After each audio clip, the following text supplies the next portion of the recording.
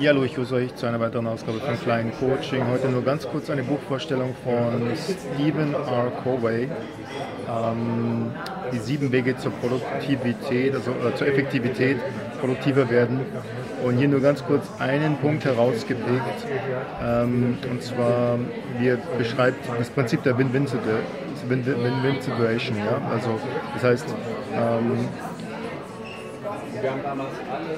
die Methode insgesamt produktiver zu werden, indem ich immer, egal mit wem ich, ähm, Vertragspartner, Kunde, Mitarbeiter, äh, Kollege, was auch immer, Chef, immer eine Win-Win-Situation ähm, als Ziel habe, ja? egal welches Verhältnis ich jetzt, von welchem Verhältnis ich jetzt rede. Und ich finde deshalb so wichtig, ähm, es gibt ja auch die sogenannte Win-Win-Win-Situation, ja, ist noch besser. Aber ich finde deshalb so wichtig, weil einfach viel zu viele Leute einfach immer nur an ihren Vorteil denken.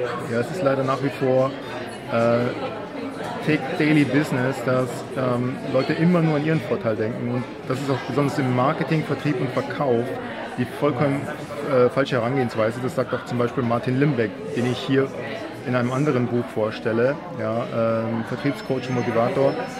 Ähm, dass man besonders ein guter Vertriebler, ja, ein wirklich guter Vertriebler, der denkt immer an den Vorteil seines Kunden ja, und nicht an seinen eigenen Vorteil. Ja.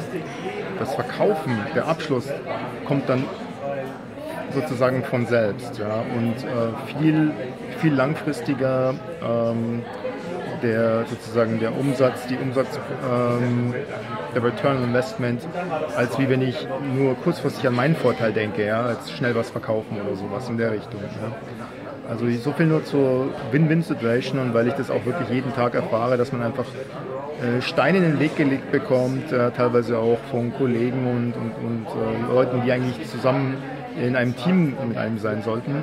Ähm, unabsichtlich oder absichtlich oder unbewusst oder bewusst ist vollkommen egal, aber letztendlich äh, häufig ist es auch unbewusst, ja, weil man einfach so äh, gehirnwäschemäßig äh, in unserer Gesellschaft auch ständig ähm, über Filme, Hollywood und was weiß ich, ja, so laut äh, Wall Street 1980 oder wann der rausgekommen ist, ja, für mich das meiste, ja, äh, für euch äh, das Wenigste so ungefähr. Ja? Also diese, diese, dieser Egoismus, dieser Neokapitalismus, ja, der uns sowieso alle in den Ruin führt, glaube ich. Aber lange Rede, kurzer Sinn. Also Win-Win-Situation, äh, holt euch das, äh, das Buch von Covey und ähm, das war's dann wieder für heute. Bis zum nächsten Mal. Euer Thomas Klein und tschüss.